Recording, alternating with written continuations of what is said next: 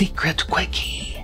Scientific research only works when it's open and available for universal public review, but governments don't like working that way, especially with energy technology.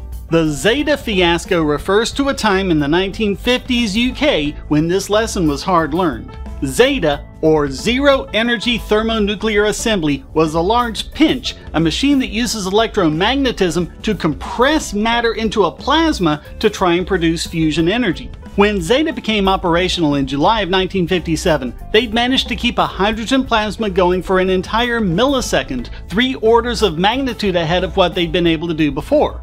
A month later, they switched to deuterium and detected the production of neutrons. This was important because neutron production is exactly what's needed for fusion energy.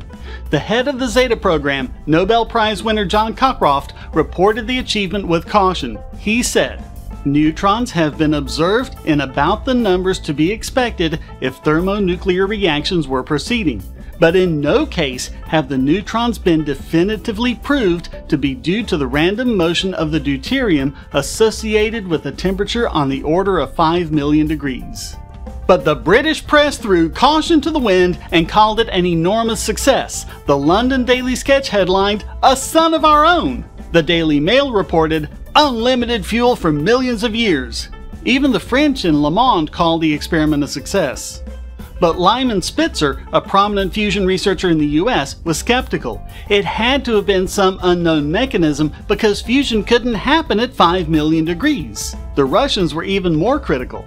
Less than four months later, the Zeta team had to release an embarrassing report saying that they had determined that the neutrons had nothing to do with the fusion of deuterium, but were just the result of an unstable plasma. Their credibility was destroyed, and in the process, a vital lesson was learned. Scientific research cannot be pursued in a cloud of government secrecy. Peer review, skeptical criticism, and independent verification are all vital for scientific endeavors.